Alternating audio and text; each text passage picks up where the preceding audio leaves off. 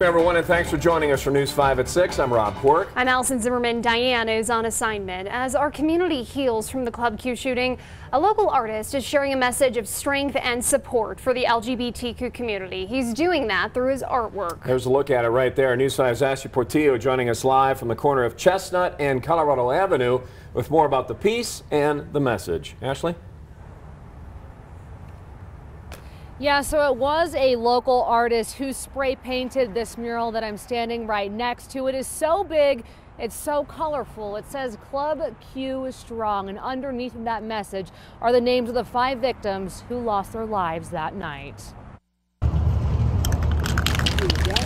The artist goes by the name of Hayes 164.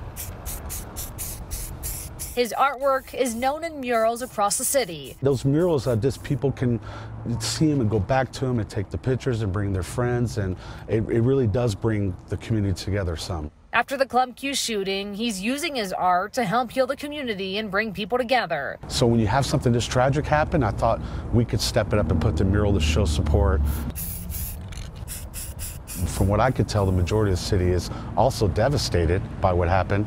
And, uh, and you know, we're just all sad. These are our neighbors and friends that this happened to. His latest mural he created is on the Ultra Flat Black Gallery.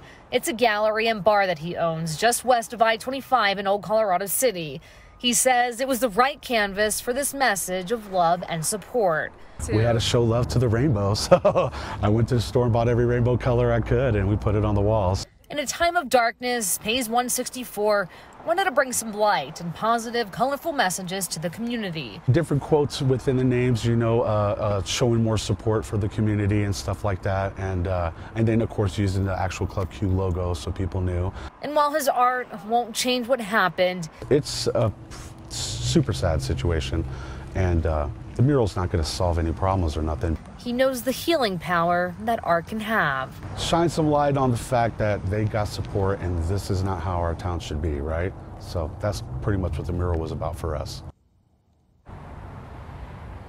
So Hayes 164 is also known for his mural located outside of the Colorado Springs Police Department. He was able to paint that mural back in June of this year. When I spoke to him back then, he also mentioned that he's all about giving back to the community through his artwork, and that is exactly what he has done with this mural right here. For now, reporting in Colorado Springs, I'm Ashley Portillo, News 5.